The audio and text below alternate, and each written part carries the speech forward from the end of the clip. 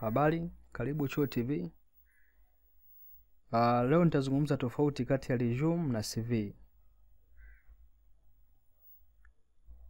Uh, resume ni document yenye kurasa moja mpaka mbili na resume huwa mtu anaandika ikiwa na maelezo yake ya kazi, historia ya kazi aliyowahi kuifanya. Kwa unakuwa unaandika kwenye resume kwamba unaandika historia yako ya kazi ule kuifanya, ndio unapeleka ofisini kwa kuombea kazi. Kwa naona bosi wako akiangalia resume anaona kwamba ulifanya kazi kwa kampuni mbalimbali. Na resume neno la Kifaransa, uh, kwa Kiingereza maana yake to sum up au majumuisho kwa lugha ya Kiswahili. Na CV kirefu chake ni curriculum vitae, ila wengi wanatofautisha, wana wanafupisha wanaita CV na imezoeleka sana CV, lakini kirefu cha CV ni curriculum vitae. Uh, na hii ni lugha ya Kifaransa, ni, ni lugha ya Kilatini samani. Curriculum vitae ni lugha ya Kilatini CV, ambayo maana yake ni course of life. Uh, CV huwa inakuwa ni ndefu, inakuwa ni ndefu na ina maelezo ya kutosha. Haipo kama resume. Resume nimesema inakuwa na kurasa moja mpaka mbili, imezidi mbili ndo mwisho mbili, ila CV unaweza ukaenda zaidi ya hapo, na inakuwa unakuwa na maelezo ya kina kabisa. Na CV inatumika kwa ajili ya kuomba kazi, kwa ajili ya kuomba kufanya tafiti, kwa ajili ya kuomba ufadhili au kwa ajili ya kuomba scholarship. Na vile vile urefu huu wa CV huwa unatokana na experience ya mwombaji. Kwa kama una uzoefu wa kutosha, na unatiririka pale kwenye CV, utaelezea maofisi uliwahi kufanya kazi, vyeti ambavyo unavyo, vyuo ulivyowahi kupitia na kadhalika.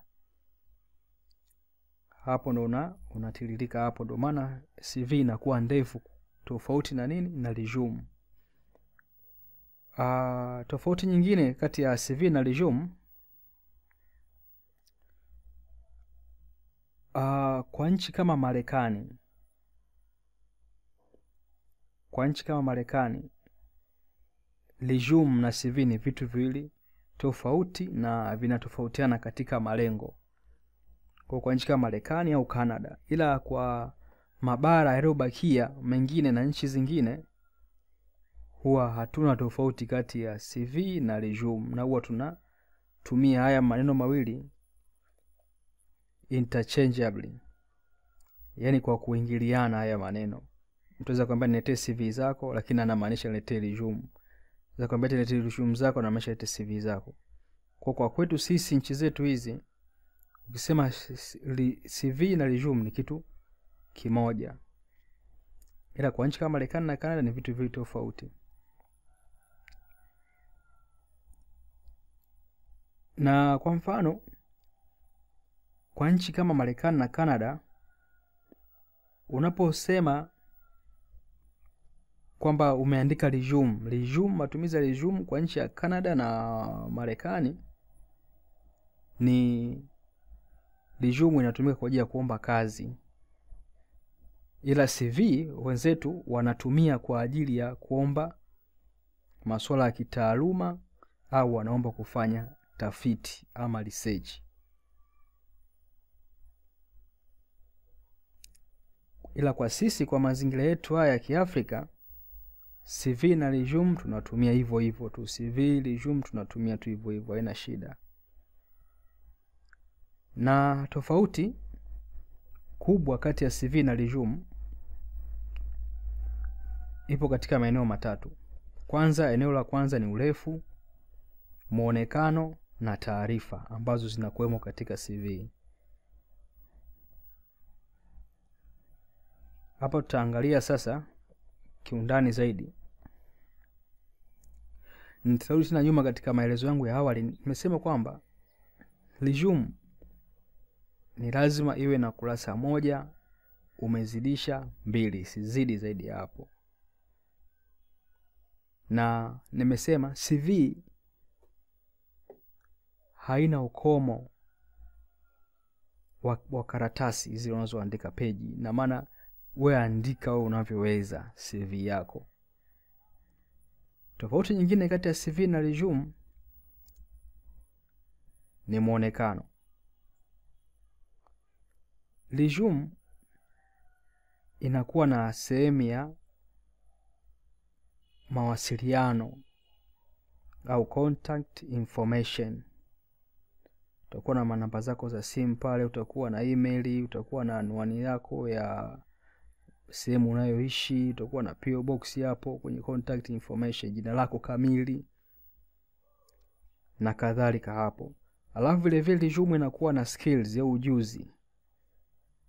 Kuna sehemu kwenye resume utaandika ujuzi wako.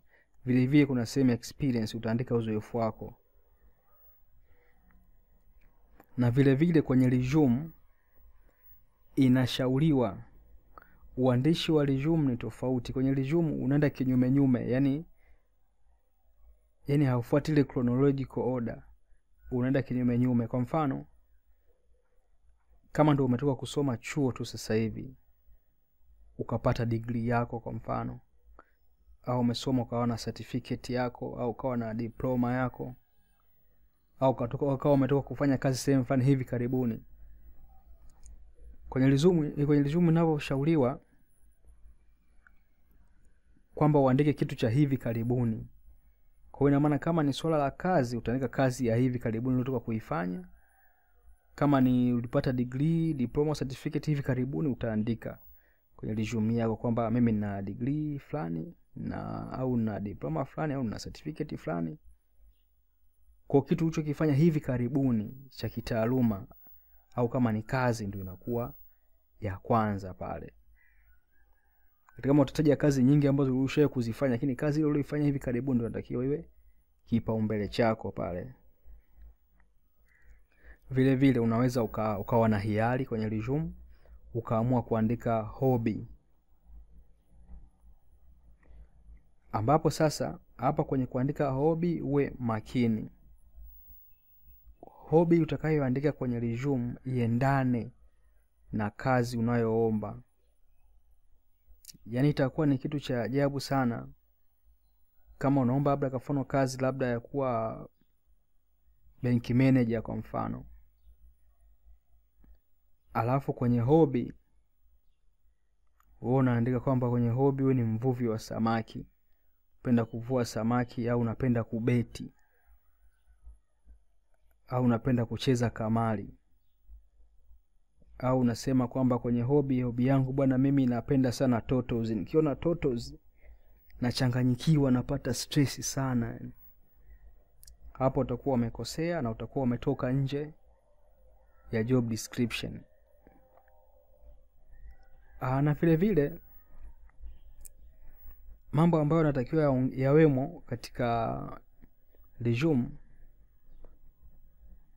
kazi ulizowahi kufanya majukumu uliowahi kuyafanya. Elimu ni muhimu. Kwenye kuomba kazi elimu ni muhimu. Usiende kuomba kazi kama kama huna ujuzi nayo. Utapata tabu. Vile vile uwe na ujuzi wa wazi. Kwamba ukimwambia mtu bwana mimi na ujuzi fulani au labda mi najua kompyuta maana siku hizi maombi ya kazi mengi anataka mtu ambaye anajua kutumia kompyuta. Uh, sasa sio unapewa kompyuta unasema unajua kompyuta afu unapewa unaanza kutumbua macho unashangaa. Kwa hiyo hakikisha utakachokisema kwamba wewe ni it wewe ni mtu mwasibu au wewe ni mtu ambaye ni wa marketing kwa hiyo ukijua ukipewa ishu yoyote au task yoyote aya tufanye kitu hiki na hiki na hiki na hiki ujuzi wako uonekane pale pale kwamba hicho kitu wewe unakiweza. Mambo ambayo hayapaswi kuingizwa au kuandikwa katika resume hapa uwe makini. Tumeona resume inasisitiza sana kazi uliowahi kuifanya huko nyuma.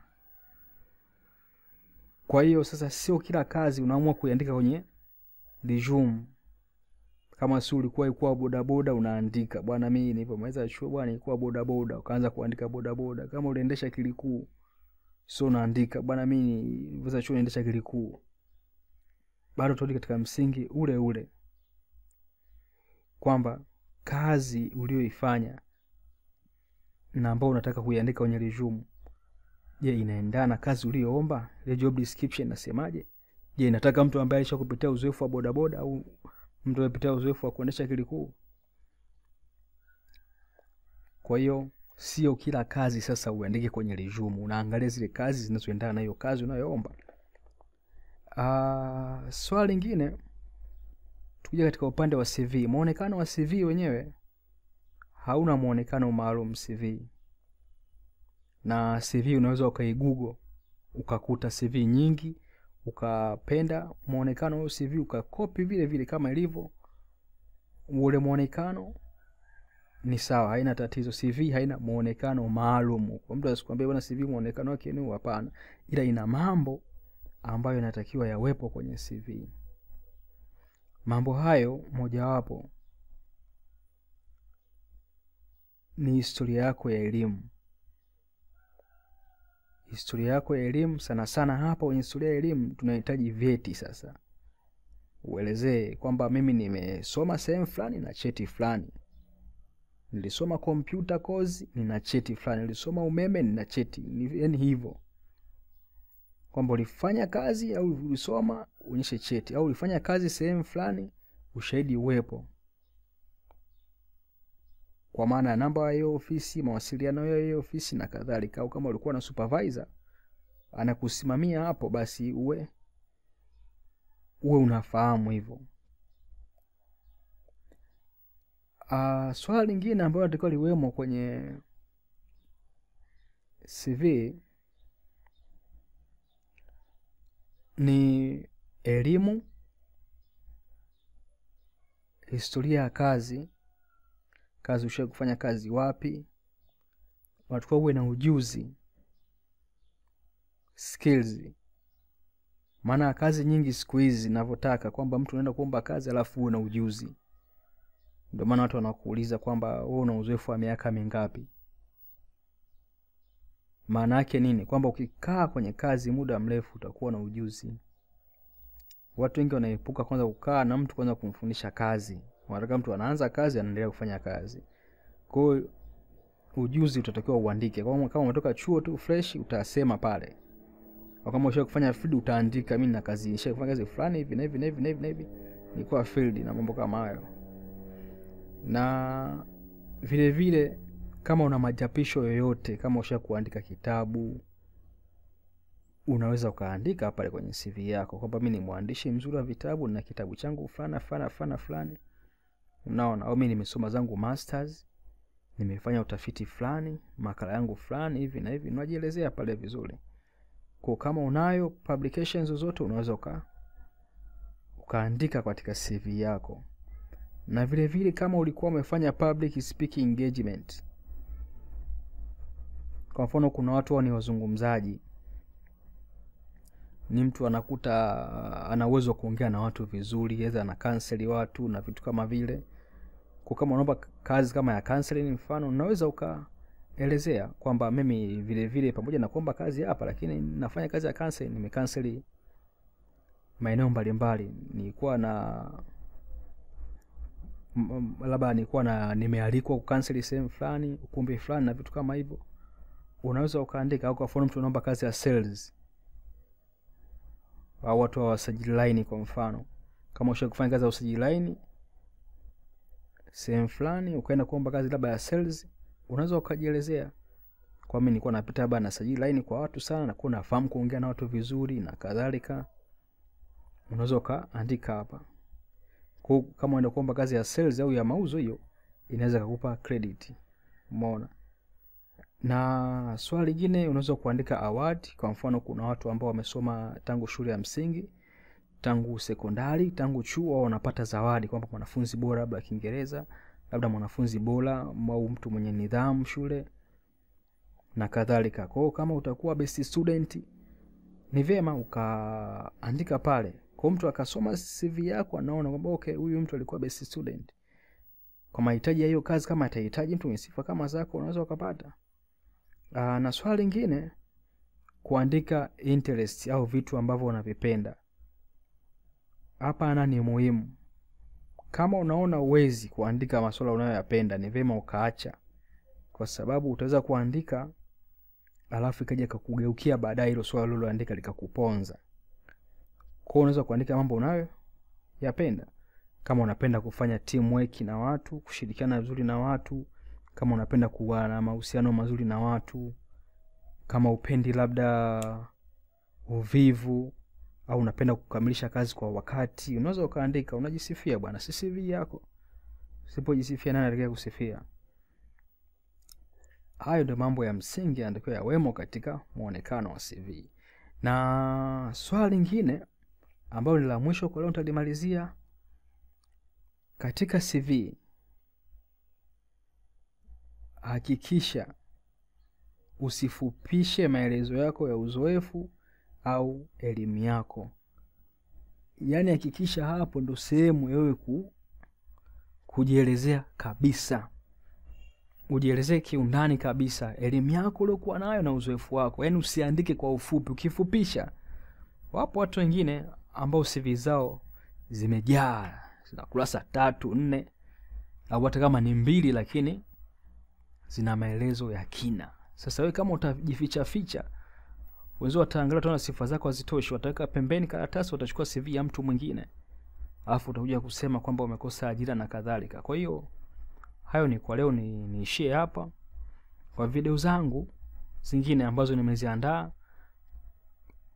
Unaweza ukazitazama hapa kwenye channel ya chuo tv nimeelezea mambo mbalimbali kwenye chuo tv hapa. Jinsi uandishi wa barua ya mambo ya kazi jinsi uandishi wa cv unaweza hapo ukajifunza. Na tafadhali ukijifunza share na wenzako wasaidie na wenzako.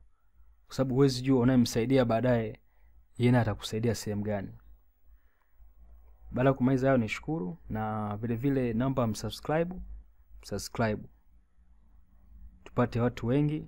Ulizeni maswali vile vile msiogope. Tunaweza tukashare mambo mengi. Kama kuna jambo ambalo unalifahamu zaidi unaweza ukashare. Kama kuna video unahitaji niandae zaidi tunaweza tukashare comment like subscribe. Asanteni